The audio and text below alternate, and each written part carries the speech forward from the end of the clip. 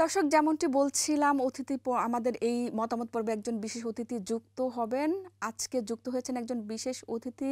তিনি বাংলাদেশের একটি স্বনামধন্য পত্রিকা প্রথম আলো। লন্ডন প্রতিনিধি জনাব শাহিদুল ইসলাম। চলুন কথা বলি তার সঙ্গে। আসসালামু আলাইকুম। জি ওয়ালাইকুম আসসালাম। আসসালামু আলাইকুম। জি ওয়ালাইকুম আসসালাম। আপনাকে আমাদের আজকের আয়োজনে স্বাগত জানাচ্ছি? ধন্যবাদ আপনাকে। আজকের শুভ সন্ধ্যা অনুষ্ঠানে আমাকে আমন্ত্রণ জানানোর জন্য জি, ধন্যবাদ। আপনি নিশ্চয়ই আমাদের আজকের টেলিশিরোনামটি দেখেছেন। তো টেলিশিরোনামের বিভিন্ন গুরুত্বপূর্ণ বিষয় নিয়ে আপনার সাথে আজকে আমরা আলাপ করব, আপনার মতামত জানব। প্রথমে আপনার কাছে আমি যে বিষয়টি জানতে চাইব সেটি হচ্ছে, মামলা হলে বেনজির আহমেদকে বিচারের মুখোমুখি হতে হবে জানিয়েছেন আওয়ামী লীগের সাধারণ সম্পাদক এবং সড়ক পরিবহন ও সেতু মন্ত্রী জনাব উবায়দুল কাদের। আপনার কাছে আমার প্রশ্ন হচ্ছে চাকরিতে থাকা সময়ে কেন তার বিরুদ্ধে ব্যবস্থা গ্রহণ করেনি সরকার? ধন্যবাদ আপনাকে। বিষয়টি খুবই প্রাসঙ্গিক এই মুহূর্তে বাংলাদেশের মঞ্চে আলোচনা। জি। টক অফ দ্য কান্ট্রি বলা যায়। গত এক সপ্তাহ যাবৎ সাবেক পুলিশ প্রধান মেহেদুর আহমেদ সাবেক। সেনা প্রধান জেনারেল আজিজ আহমেদ এবং সংসদ সদস্য আনোয়ারুল আজিম খুব সঙ্গত কারণে জনাব বেনজির আহমেদ আহ, আমার জানা মতে গত দুই তিন দশকের মধ্যে সবচেয়ে প্রভাবশালী একজন পুলিশ প্রধান ছিলেন। আর তিনি যে ভঙ্গিতে কথা বলতেন তিনি আর যে বডি ল্যাঙ্গুয়েজ ছিল তার কথাবার্তা আলোচনা তার চলাফেরা সবকিছুতেই আহ, আমি ব্যক্তিগতভাবে তাকে মনে হতো যে খুবই একজন আহ, অহংকারী ব্যক্তি এবং আহ, তেনার যে আউটসাইড যে বিষয়গুলো মানে উনি একদিন না একদিন মানে অপরাধ করে বা যে কোনো জিনিসই কিন্তু পার পেয়ে যাওয়া খুব কঠিন। আজকে হয়তো ক্ষমতা আছে একদিন কিন্তু জবাবদিহিতার আওতায় আসতে হবে। তো বেনজির আহমেদ সেরকম একজন ব্যক্তি ছিলেন এবং বাংলাদেশের জন্য খুবই দুঃখজনক যে বেনজির আহমেদ এবং আজিজ আহমেদ দুজন সাবেক দুটি বাহিনীর সদ্য সাবেক সদ্য সাবেক দুটি বাহিনীর প্রধান এবং তিনারা বাংলাদেশের রাজনীতি বাংলাদেশের প্রশাসন বিশেষ করে এগুলো নিয়ে তেনাদের যে অবস্থান ছিল সেই জায়গা থেকে তেনারা যেটা দেশের জন্য বড় করে করতে পারতেন সেটা কিন্তু তিনারা করেননি। বরং তাদের যে কর্মকাণ্ডের জন্য বিতর্কিত হয়েছেন এবং আজকে আইনের কাজ করায়। প্রশ্ন হচ্ছে যে জনাব বেনজির আহমেদ এবং জনাব আজিজ আহমেদ আহ, এদের ব্যাপারে সরকার আহ, তখন কেন পদক্ষেপ নিল না? খুব দুঃখজনক বিষয় হচ্ছে যে সরকার তাদেরকে ব্যবহার করেছে এবং তারাও তাদের প্রয়োজনে বা সরকারের চাটুকারিতা করার জন্য অনেকটা লালায়িত হয়েই ওনারা ব্যবহৃত হয়েছেন। আজিজ আহমেদ নিজের স্বার্থ সিদ্ধির জন্য পরিবারকে বাঁচানোর জন্য ভাইদেরকে আহ, বিভিন্ন মামলা থেকে খালাস করার জন্য যা যা করার তাই করেছেন। বিজেপি প্রধান থাকাকালীন সময় দু হাজার চোদ্দ সালের তেরো সালের আন্দোলন চোদ্দ সালের নির্বাচনে অবিস্মরণীয় ভূমিকা আওয়ামী লীগ অস্বীকার করতে পারবে না। তিনি সেই সার্ভিসটুকু আওয়ামী লীগকে দিয়েছেন। সঙ্গত কারণে আওয়ামী লীগ তার বিরুদ্ধে এখনও পর্যন্ত আমরা তার বিরুদ্ধে কোনো ব্যবস্থা দেখতে পাচ্ছি না। আমরা দেখেছি আমেরিকা তার বিরুদ্ধে ব্যবস্থা নিয়েছে। গতকাল অর্থমন্ত্রী বলেছিলেন যে সেনাবাহিনী তার বিরুদ্ধে ব্যবস্থা নিতে পারে। আমরা গতকাল আরেকটি পত্রিকায় আহ, দেখলাম সাবেক সেনাবাহিনীর অন্য তিনজন প্রধান কর্মকর্তা। তিনারা বলছেন যে তিনি অপশন নেওয়ার পর সেনাবাহিনী তার বিরুদ্ধে ব্যবস্থা নেওয়ার কোনো সুযোগ আছে বলে তারা দেখছেন না। কারণ তিনি যেহেতু বাহিনীর প্রধান ছিলেন এবং তার অধীনে বাহিনী ছিল। হ্যাঁ সেখানে প্রতিরক্ষা মন্ত্রণালয় ব্যবস্থা নিতে পারে। কিন্তু দেশের চলমান তিনি যেহেতু অবসরপ্রাপ্ত খুব স্বাভাবিকভাবে অন্য দশজন নাগরিকের মতো তিনি একজন তার বিরুদ্ধে যে অভিযোগ আমেরিকা থেকে এসেছে আমেরিকা সুনির্দিষ্ট অভিযোগের ভিত্তিতে আমেরিকা সেখানে তাকে স্যাংশন দিয়েছে। কেন বাংলাদেশের প্রচলিত আইন তার বিরুদ্ধে ব্যবস্থা নিতে পারবে না? সেটা স্টিল এখনও পর্যন্ত একটা প্রশ্নবোধক চিহ্ন রয়েছে।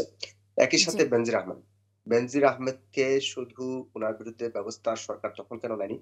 এটা যে যেরকম একটা বড় প্রশ্ন তেমনি তখনকার সময় ওনাকে শুদ্ধাচার আহ, একটা পুরস্কার দেওয়া হয়েছিল। তিনি রাষ্ট্রের খুব একজন ভালো মানুষ। ইভেন পুলিশের কিছু কিছু কর্মকর্তার বিরুদ্ধে বিশেষ করে আহ, যে জেনারেল সিনহাকে যে হত্যা করেছিল প্রদীপ পুলিশের ওসি তখন পুলিশ প্রধান ছিলেন বেনজুর আহমেদ। এরপরে ব্যাস বিভিন্ন বক্তব্যে বিভিন্ন প্রোগ্রাম গুলোতে আহ, পুলিশের যারা যে সকল কর্মকর্তা দুর্নীতির সাথে যুক্ত তাদের বিরুদ্ধে ব্যবস্থা নেওয়ার বিভিন্ন ধরনের কথা তিনি তখন বলেছেন। দুর্নীতির যে যে কর্মকর্তার বিরুদ্ধে দুর্নীতির অভিযোগ পাওয়া যাবে তাদের বিরুদ্ধে ব্যবস্থা নেবেন। অনেক কথা সন্ত্রাস বিরোধী অভিযান র্যাবে থাকাকালীন তার ভূমিকা আহ, তিনি জঙ্গি বিরোধী অভিযান করেছেন। বেশ মানে উনার যে বড় উনি যেভাবে বলতেন আমি সবসময় ওনাকে তখন তখনও আমাকে খুব অহংকারী একজন মানুষ মনে হয়। এবং বাংলাদেশের ইতিহাসে আরেকটি ঘটনা যে তিনি যখন অবসরে গেলেন যাওয়ার পর সরকার একজন অবসরপ্রাপ্ত পুলিশ প্রধানকে আবার পুলিশ প্রটোকল দিল। স্টিল বোধ হয় এখনও এটা আছে। এটাও কিন্তু একটা নজিরবিহীন ঘটনা। তিনি এমন কি অপরাধ করেছেন যার কারণে তিনি অবসরে যাওয়ার পর নিরাপত্তাহীনতায় থাকবেন তখন এটা একটা প্রশ্ন ছিল। এবং সরকার তাকে নিশ্চয়ই দুই হাজার আঠারো সালের নির্বাচনে মানে বিশেষ করে পরপর দু হাজার চোদ্দ আঠারো এই দুটি নির্বাচন তো সরকার প্রশাসনের উপর নির্ভর করেই পার হয়েছে প্রশাসন সরকারকে প্রশাসন আহ, টিকিয়ে রেখেছে নির্বাচন করতে সহায়তা করেছে। বিশেষ করে আঠারো সালের নির্বাচন সেখানে পুলিশ প্রধানের ভূমিকা হিসেবে আহ, বেনজির আহমেদের অবদান ছিল। তো সঙ্গত কারণে ওই যে আগে আমি বলেছি সরকার ব্যবহার করেছে, তারা অব্যবহৃত হয়েছে। তো ব্যবহার করাকালীন সময় সরকার নিশ্চয়ই ব্যবস্থা নিবে না বা এখনও কিন্তু এই যে বিষয়টা সামনে এসেছে, এটা সরকার নিয়ে আসেনি কিংবা দুদক নিয়ে আসেনি। বাংলাদেশের একটি গণমাধ্যম তার বিরুদ্ধে অনুসন্ধানী প্রতিবেদন প্রকাশ করেছে। সেই অনুসন্ধানী প্রতিবেদনের পরিপ্রেক্ষিতে দুদক কিন্তু ব্যবস্থা নেয় নাই। আমরা দেখেছি একজন স্বতন্ত্র সংসদ সদস্য বিষয়টা নিয়ে হাইকোর্টে গিয়েছেন। হাইকোর্ট থেকে তিনি একটা রিটের মাধ্যমে আদেশটি এসেছে দুদকের উপর। তারপর দুদক অনেকটা বাধ্য হয়ে পত্রপত্রিকা বিভিন্ন বিষয় নিয়ে এটা যখন সমালোচনা শুরু হয়েছে তখন বাধ্য হয়ে সরকার দুদক ব্যবস্থা নিতে শুরু করেছে। এখন কিন্তু আবার আজকে দেখলাম আওয়ামী লীগের সাধারণ সম্পাদক ক্রেডিট নিচ্ছেন যে সরকার দুদককে স্বাধীন করে দিয়েছে যার কারণে দুদক এই ব্যবস্থাগুলো নিতে পারছে। তো এখন বেনজির আহমেদ আহ, নখ দন্তহীন বাঘ জেনারেল আজিজ নখ দন্তহীন বাঘ অপরাধ করলে একটা না একটা সময় তাদেরকে বিচারের আওতায় আনতে হবে। আমি স্টিল জেনারেল সরি বেনজির আহমেদের ব্যাপারে যে দুদক বা কোর্ট যে ব্যবস্থাগুলো নিচ্ছে এখনও পর্যন্ত এগুলো তো অভিযোগ পর্যায়ে রয়েছে। মামলা সম্পদ ক্রুকের নির্দেশনা এই পর্যায়ে রয়েছে। বাস্তবে এইটার প্রতিফলন শেষ না হওয়া পর্যন্ত আমরা মানে আস্থা বিশ্বাস পুরোপুরি বলতে পারব না বাট স্টিল আমি সন্তুষ্টি প্রকাশ করতে পারি যে প্রক্রিয়া এটা আগাচ্ছে। আর বেজির আহমেদ তিনি নিজেও এই সংবাদ মাধ্যমের প্রতিবেদন আসার পরে যে বিবৃতি বা একটা বক্তব্য তিনি দিয়েছেন সেখানে কিন্তু তিনি অস্বীকার করা করা- করতে চেয়েছিলেন। কিন্তু। এখন মনে হচ্ছে না তিনি আর পার পাবেন বলে আমি অন্তত জনগণের কাঠগড়া তো কোনোভাবেই সম্ভব না। আর যদি সরকার সুন্দরভাবে কোনো ধরনের হস্তক্ষেপ ছাড়া যদি এই বিচার প্রক্রিয়াকে সহায়তা করে আমি মনে করি অবশ্যই দুজন ব্যক্তি আইনের কাঠগড়ায় অবশ্যই তাদের শাস্তি এবং তাদের অপরাধ প্রমাণিত হওয়ার পরে তাদের শাস্তি কার্যকর হবে। পাশাপাশি আরেকটা মিনিট বলে রাখতে চাই এই দুইটা ঘটনা অন্য যারা পুলিশ কর্মকর্তা প্রশাসন অন্য যারা রয়েছেন তাদের জন্য একটা সতর্কতা হিসাবে কাজ করবে যদি তারা সেটাকে সতর্ক হিসাবে নেন। আমি আরেকটা জিনিস অগ্রিম বলে রাখি বর্তমানে পুলিশের আরেকজন কর্মকর্তা রয়েছেন। আসলে তিনি পুলিশ প্রধান নন কিন্তু তিনার যে কর্মকাণ্ড তিনার যে প্রেজেন্টেশন তিনিও ভবিষ্যতে কিন্তু এই ধরনের কাজ করে আসবেন। তিনারও অনেক অপরাধ আছে সেটা হয়তো এখন উনি ক্ষমতায় আছেন পদে আছেন চেয়ার আছেন এই কারণে আসছে না জি ধন্যবাদ। জি ধন্যবাদ। আপনি এবার আসি একটু অন্য প্রসঙ্গে সেটা আপনি নিশ্চয়ই জানেন যে বাংলাদেশের উপরে আসলে ঘূর্ণিঝড় রিমালের তাণ্ডব চলেছে এবং এই ঘূর্ণিঝড়ে দেশের ব্যাপক ক্ষয়ক্ষতি হয়েছে বিশেষ করে দক্ষিণাঞ্চলে। বর্তমান অবস্থায় এই ক্ষয়ক্ষতি কীভাবে পোষাবে সরকার? খুবই দুঃখজনক। আমাদের দেশ খুব স্বাভাবিকভাবেই আহ, সেই ঐতিহাসিক কাল থেকে দুর্যোগ প্রবণ একটা দেশ। প্রতি বছর আমরা এই সমস্ত প্রাকৃতিক দুর্যোগ মোকাবেলা করে আমরা পার হচ্ছি। বিশেষ করে ঘূর্ণিঝড় বন্যা জলোচ্ছ্বাস খরা বিভিন্ন ধরনের প্রাকৃতিক দুর্যোগ আহ, প্রতি বছরই আমাদেরকে ক্ষতিগ্রস্ত করছে এবং দক্ষিণাঞ্চল উত্তরাঞ্চল এই অঞ্চলের মানুষগুলো এই সমস্ত আহ, প্রাকৃতিক দুর্যোগের কারণে বেশি ক্ষতির সম্মুখীন হচ্ছে। গত পরশু দিন বা এর আগের দিন থেকে শুরু হওয়া এই যে রামালের যে তাণ্ডব এটা বাংলাদেশের ইতিহাসে যাবৎকালে যতগুলো ঘূর্ণিঝড় হচ্ছে এর মধ্যে সবচেয়ে লম্বা প্রভাব লম্বা সময় ধরে এটার প্রভাব গতকাল পর্যন্ত কিন্তু এটা খুব জোরালো ভাবে বাংলাদেশের উপর তাদের তাণ্ডব চালিয়েছে। এখানে আহ, ঢাকা শহর বা দেশের অন্যান্য আহ, অঞ্চলেও কিন্তু এটার প্রভাব পাওয়া গেছে। এবং এই পর্যন্ত আহ, আপনার সুন্দরবন সহ ওই অঞ্চলের প্রায় তিপ্পান্ন হাজার বাড়িঘর সম্পূর্ণভাবে। ধ্বংস হয়েছে ক্ষতিগ্রস্ত হয়েছে এটা অনেক বড় অঙ্কের একটা আর্থিক ক্ষতি। এর বাইরে আপনার গবাদি পশু গরু ছাগল হাঁস মুরগি সব ভাসিয়ে গেছে। আহ, আপনার সাতক্ষীরা বরগুনা অঞ্চলে আহ, যে মাছের খের ছিল চিংড়ির খের আহ, হাজার হাজার হাজার হেক্টর বিঘার উপর যে প্রতিষ্ঠিত এগুলো সব কিন্তু পানির নিচে চলে গেছে। এটা খুবই দুঃখজনক এবং এটার আর্থিক ক্ষতি এখনও পর্যন্ত কোনো আর্থিক প্রতিষ্ঠান কিংবা সরকার নিরূপণ করতে পারেনি। কিন্তু এটা অনেক বড় অঙ্কের একটা ক্ষতি বলে আমি মনে করি দেখে আবার পুনর্বাসন করা এইসব মানুষের ঘর বাড়ি নির্মাণ মানুষের যে আর্থিক ক্ষতি সরকার আর কত এটা কোন পর্যায়ে কতভাবে ক্ষতি দিবে আমি জানি না। হয়তো সর্বোচ্চ বিভিন্ন ধরনের সমস্যাগুলোতে দেখা যায় দশ হাজার বিশ হাজার কিন্তু মানুষের লক্ষ লক্ষ টাকার ক্ষতি হচ্ছে। আমি গতকাল একজনের সাথে আলাপ হয়েছে ওনাদের ছাপ্পান্ন লক্ষ টাকার একটা আহ চিংড়ির ঘের ছিল সেটা কিন্তু ভেসে গেছে। এবং অনেক মানুষ এক রাতের ব্যবধানে পথের ফকির হয়ে গেছে। জি আপনি যেমন এই বলছ আপনি যেমন বলছিলেন যে এই যে দশ বিশ হাজার আসলে ওই অঞ্চলের অনেক লোকজন কিন্তু আম- আহ, নিশ্চয়ই আপনি সোশ্যাল মিডিয়াতে দেখেছেন অনেক লোকজন যারা আছেন তারা কিন্তু বলছেন যে ত্রাণ নয় আমরা শক্ত মজবুত বাদ চাই। ওই জায়গাটায় আমি আসছি। আসলে এটা হচ্ছে সবই একটা প্রতি বছর যখন একটা সমস্যা হয় তখনই কিন্তু তুরজোর শুরু হয় বা এই যে ত্রাণ দিয়ে এক ধরনের মুখ বন্ধ করে রাখার প্রবণতা বা একটা সাময়িক সহায়তা এগুলো মূল বিষয় নয়। আপনার বরগুনা অঞ্চলে যে বাঁধগুলো ভেঙেছে এই এই দুর্যোগটা আসার আগে যখন সতর্কতা পাওয়া যাচ্ছিল তখন স্থানীয় লোকজন প্রশাসনের কাছে আবেদন করেছেন যে যেখানে যেখানে বাঁধের দুর্বলতা রয়েছে সেগুলো যেন এখনই মেরামত করা হয়। এক তখনও কিন্তু এটা করা গেলে অনেকটা আপনার এই সমস্ত দুর্যোগ বা এই ক্ষয়ক্ষতি কম হওয়ার সম্ভাবনা ছিল। কম করার সুযোগ ছিল। কিন্তু সারা বছরই দেখা যায় এইসব ব্যাপারে বিশেষ করে শুষ্ক সময় যে সময়গুলোতে তখন নীরব থাকে এসব নিয়ে কোনো মাথা ব্যথা থাকে না। যখন আকাশে কালো মেঘ জমা হচ্ছে দেখে মাথা ব্যথা শুরু হয় তখনই হায় হতাশ বাড়ে তখনই এ হয়ে গেল হয়ে গেল এই সমস্ত মানে আলাপ আলোচনা শুরু হয়। তো এই বিষয়গুলি যে বাঁধ নির্মাণগুলো কিন্তু পুরোপুরিভাবে দুর্নীতি মুক্ত না সেখানে কিন্তু পানি উন্নয়ন বোর্ড বা বিভিন্ন সংস্থা সরকারের যে দফতরগুলো এদের সাথে জড়িত তারা কিন্তু প্রপারলি কাজ করে না। এগুলো যদি প্রপার কাজ হতো কারণ এটা তো নতুন হয়ে আসছে না। দীর্ঘদিন জি। বাংলাদেশের আমি আগেই বলেছি ঐতিহাসিক ভাবে স্বাধীনতার আগে পাকিস্তান আমলে ব্রিটিশ পিরিয়ডে সবসময় কিন্তু উপকূল অঞ্চলে এই সমস্ত ঝড় ঝড়টা বয়ে যাচ্ছে। তো সরকার দাবি করে তাদের অর্থনৈতিক সমৃদ্ধি হচ্ছে অর্থনৈতিকভাবে তারা আরও বেশি বেগবান হতে পেরেছে। তো এই জায়গাগুলো বিশেষ করে এবং সবসময় আমাদের প্রাইম মিনিস্টারকে আমরা দেখি আন্তর্জাতিক বিভিন্ন ফোরামে এই যে গ্লোবাল ওয়ার্মিং এর কারণে যে দুর্যোগ তৈরি হয় সেটা বাংলাদেশের মতো থার্ড ওয়ার্ল্ড এর কান্ট্রি গুলো কিন্তু ফেস করে। এই জায়গায় তিনি বেশ জোরালো বক্তব্য রাখেন। এবং সেখান থেকে আমরা দেখেছি আহ, জলবায়ু তহবিল থেকে যে তহবিলটা আসে সেটাও আহ, এই জায়গাগুলোতে ঠিক মতো কাজে লাগানো হয় না। অনেক সময় তহবিল ফিরে যায়। অনেক সময় আপনার এটা ভিন্ন জায়গায়। আমরা কিছুদিন আগে দেখেছি জলবায়ু তহবিলের টাকা দিয়ে রাস্তার লাইটিং করা হচ্ছে।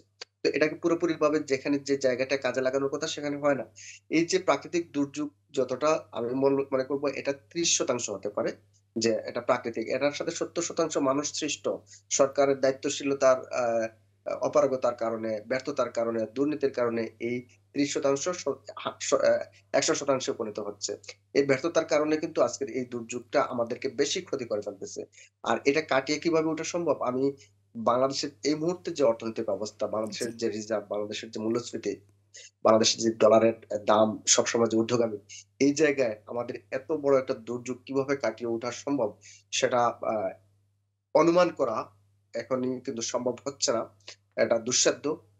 তবে আমরা আশা করব এই সাধারণ মানুষ, গরিব মানুষ বা যাদের শেষ সম্বলটুকু সেখানে লগ্নি করে তারা একটু বাঁচার আশায়, একটু সমৃদ্ধির আশায় বিনিয়োগ করেছিলেন, তারা সর্বস্ব হারিয়েছেন তাদের এই জায়গায়, আহ, আরও বেশি সরকার এই শুধুমাত্র দশ বিশ হাজার টাকার ত্রাণের জায়গা থেকে বের হয়ে চিরস্থায়ী একটা সমস্যা সমাধান করুক বা এই সমস্ত ব্যবসায়ী যারা বিশেষ করে মাছ ব্যবসায়ী আছেন তাদের যে খেয়ে এখানে প্রতি বছর কিন্তু দুর্যোগটা এখানে কোনো ইন্স্যুরেন্স এর কোনো সুযোগ করা যায় কিনা, এই সমস্ত বিষয়গুলো যদি আপনার করা যায়, তাহলে আমার মনে হয় ভবিষ্যতে এই প্রান্তিক পর্যায়ের খামারিরা, প্রান্তিক পর্যায়ের চাষিরা তাদেরকে রক্ষা করতে পারবেন। ক্ষতির পরিমাণটা কমিয়ে নিয়ে আসতে পারবেন। জি ধন্যবাদ। আপনার কাছে আরেকটু জানতে চাই যে ফিলিস্তিনকে স্বাধীন রাষ্ট্রের স্বীকৃতি দিল ইউরোপের তিন দেশ স্পেন নরওয়ে এবং আয়ারল্যান্ড। আপনার কাছে যেটি জানতে চাই সেটি হচ্ছে ইসরায়েলের উপর কতটা চাপ বাড়বে বলে আপনি মনে করছেন এই পরিস্থিতিতে? ধন্যবাদ আপনাকে। এটা খুব গুরুত্বপূর্ণ একটা সিদ্ধান্ত নিয়েছে ইউরোপের এই তিনটি দেশ। এটা এমন এক সময় নিয়েছে যখন ফিলিস্তিন ধারাবাহিকভাবে তাদের দখলদারিত্ব ধারাবাহিকভাবে নির্বিচারে ফিলিস্তিনের সাধারণ জনগণকে হত্যা করছে। এবং সেখানে নির্বাচারে, নির্বিচারে নারী, শিশু বৃদ্ধ বেসামরিক জনগণকে এবং আন্তর্জাতিক কোন ধরনের আইন, কানুন, নিয়মের তোয়াক্কা না করে আন্তর্জাতিক বিশ্বের, বিশেষ করে আইজিসির মতো আন্তর্জাতিক যে আদালত তাদের নিষেধাজ্ঞা কোনো কিছুকেই তোয়াক্কা করছে না। এমনকি আমরা সম্প্রতি লক্ষ্য করছি যে আমেরিকা বিশেষ করে রাফা অঞ্চলে তাদের যে অভিযান সেটা না করার জন্য আমেরিকা তাদের সবচেয়ে কাছের মিত্র সবচেয়ে বড় ডোনেটকারী দেশ এবং তাদের সবচেয়ে বড় পরামর্শদাতা বলা যায় সে আমেরিকাকেও তারা পাত্তা দিচ্ছে না। এটা আমেরিকার আহ, তাদের নির্বাচনকে সামনে রেখে কোনো ধরনের আইওয়াস কিনা যে তারা সামনে পর্দার সামনে এসে এটা বলছে ইসরায়েলের বিরুদ্ধে আবার বিহাইন্ডে কারণ আমরা জানি যে ইসরায়েলের সবচেয়ে বড় শক্তি হচ্ছে আমেরিকা। তো আমেরিকা যেখানে তাদেরকে প্রকাশ্যে সেই কথাগুলো বলছে তারপরে তারা আমেরিকাকে গুরুত্ব দিচ্ছে না। এটা আহ, ভাবাচ্ছে যে আইওয়াস হতে পারে। যাই হোক সবচেয়ে বড় বিষয় হচ্ছে ইতিপূর্বে আহ একশো তিরানব্বইটি জাতিসংঘের রাষ্ট্রগুলো একশো তিরানব্বইটি রাষ্ট্রের মধ্যে একশো চুয়াল্লিশটি রাষ্ট্র আহ ফিলিস্তিনকে রাষ্ট্র হিসেবে স্বীকৃতি দিয়েছে। ইউরোপের আরও সাতটা দেশ আগে স্বীকৃতি দিয়েছিল এর মধ্যে আজকে যোগ হলো আরও তিনটা সাতাশটি দেশের মধ্যে। যে স্পেন আয়ারল্যান্ড এবং নরওয়ে। এর মধ্যে স্পেন এবং আয়ারল্যান্ড অনেক বড় দুটি দেশ এবং রাজনৈতিকভাবে তারা বেশ প্রভাবশালী এই অঞ্চলের মধ্যে। তো তাদের এই সমর্থন অন্যান্য দেশগুলোকে যে দেশগুলো এখনও দেয়নি এবং বিশেষ করে মূল যে জায়গাটা যে আপনার জাতিসংঘে ভেটো পাওয়ার আহ, যে পাঁচটি রাষ্ট্রের মধ্যে মধ্যে অন্যতম যে আমেরিকা আহ তারা কিন্তু সমস্ত জাতিসংঘের সব রাষ্ট্রগুলো দিয়ে দিলেও তারা একটা ভেটো পাওয়ার ভেটো দিলেই সমস্যা হয়ে যায় মানে ওটা কার্যকর হয় না।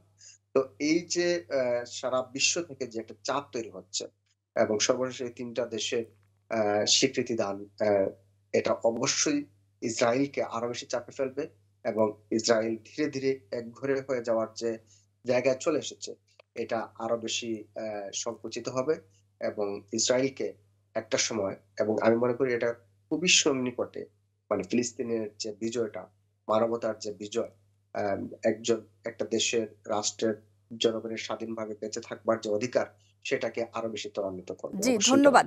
জি আপনাকে ধন্যবাদ। এবার আসি একটু ভিন্ন প্রসঙ্গে সেটি হচ্ছে বাংলাদেশে বিভিন্ন কর্মক্ষেত্রে কত সংখ্যক বিদেশি বৈধ অবৈধ শ্রমিক কাজ করেন? পুলিশের কাছে সেই তালিকা চেয়েছে হাইকোর্ট। বিশেষ ভাবে লক্ষ লক্ষ ভারতীয় কাজ করছে বাংলাদেশে। এই বিষয়ে আপনার মতামতটি জানতে চাই। এটা খুবই প্রাসঙ্গিক একটু ছোট্ট করে আপনার কাছে জানতে চাই ব্যাপারটি। হ্যাঁ দীর্ঘদিন থেকে বাংলাদেশের বিষয়টি নিয়ে আলোচনা হচ্ছে হচ্ছে বিভিন্ন পত্রিকা বিচ্ছিন্ন ভাবে আসছে যে বাংলাদেশে বিশেষ করে আমাদের পার্শ্ববর্তী দেশ ভারতের একটা বড় সংখ্যক লোকজন এখানে অবৈধভাবে কাজ করছে। আবার অনেকে আছে বৈধভাবে করছে। চীনের অনেক লোকজন এখানে বাস করছে বৈধভাবে। অনেকে অবৈধভাবে আফ্রিকার অঞ্চলের কিছু দেশের লোকজনও আছে। কিন্তু বড় করে কিন্তু ভারতের বিষয়টা এখানে সামনে যেহেতু তারা আমাদের একেবারে নিকট প্রতিবেশী এবং তাদের আসাটা সবচেয়ে ইলিগেলি আসার সুযোগটা বেশি। এবং বিভিন্ন জায়গায় গার্মেন্টস সহ সরকারের বিভিন্ন জায়গায় তারা কাজ করছে। এটা আমি মনে করি হাইকোর্ট একটা রিটের প্রেক্ষিতে স্বপ্রণোদিত হয়েও নয়। এটা রিটের প্রেক্ষিতে আজকে আদেশটি দিয়েছেন এবং এটা সরকারের স্বরাষ্ট্র মন্ত্রণালয়ের দায়িত্বের মধ্যে পড়ে। তারা দীর্ঘদিন থেকে একটা দেশকে আনুকূল্য দেওয়ার জন্যই এই কাজটি করেনি। যাই হোক যে কোনো ভাবেই হোক আজকে হাইকোর্ট এই আদেশটি দিয়েছেন এবং এটা বাংলাদেশের জন্য অত্যন্ত গুরুত্বপূর্ণ কারণ বাংলাদেশের প্রায় দেড় থেকে দুই কোটি জনগণ বিশ্বের বিভিন্ন দেশে কাজ করছে প্রবাসী হিসেবে। তারা বাংলাদেশে কাজ পাচ্ছে না। প্রতিদিন বাংলাদেশ থেকে শত শত হাজার হাজার তরুণ বেকার থাকার কারণে দেশ ছেড়ে তারা বিদেশে যাচ্ছে। সেখানে বাংলাদেশে আমাদের এত বড় জনগোষ্ঠী থাকা সত্ত্বেও বিদেশি জনগণ হ্যাঁ কেউ যদি ওয়ার্ক পারমিট নিয়ে আসে কারও। যদি ওরকম টেকনিক্যাল জনসংখ্যার প্রয়োজন হয় জনশক্তির প্রয়োজন হয় সেটা ভিন্ন বিষয়। তো অবৈধভাবে বাংলাদেশে আমরা রেমিটেন্স পাঠাচ্ছি আবার তারা বাংলাদেশ থেকে রেমিটেন্স নিয়ে চলে যাচ্ছে। ধারণা করা হয় যে ইন্ডিয়া প্রায় দশ বিলিয়ন ডলার রেমিটেন্স প্রতি বছর তারা বাংলাদেশ থেকে আর্ন করে। তো এটা অনেক বড় এক- যেখানে আমাদের দেশের অর্থনীতি এই মুহূর্তে খুবই নাজুক অবস্থা। এই বিষয়টি হাইকোর্ট যথাযথ উদ্যোগ নিয়েছেন। স্বরাষ্ট্র মন্ত্রণালয় সেটা চিহ্নিত করে হাইকোর্টের কাছে প্রতিবেদন দিবে এটা আমি আশা করি এবং এটা প্রয়োজন ছিল। জি জনাব শাহিদুল ইসলাম আপনার মূল্যবান মতামতের জন্য আপনাকে অসংখ্য অসংখ্য ধন্যবাদ। সময় স্বল্পতার জন্য আজকে বিদায় দিচ্ছি। আপনার কাছে অনেক বিষয় জানার ছিল নিশ্চয়ই জানব অন্য কোনো একটি শুভ সন্ধ্যায়। সে পর্যন্ত ভালো থাকবেন সুস্থ থাকবেন। আসসালামু আলাইকুম। ধন্যবাদ আপনাকে।